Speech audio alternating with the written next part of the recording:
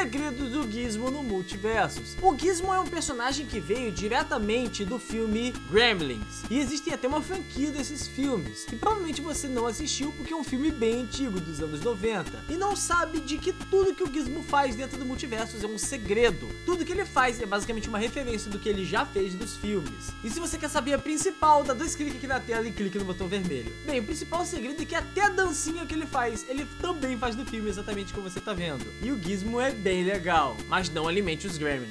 E eu sei que isso é muito divertido, mas eu duvido que você sabia dos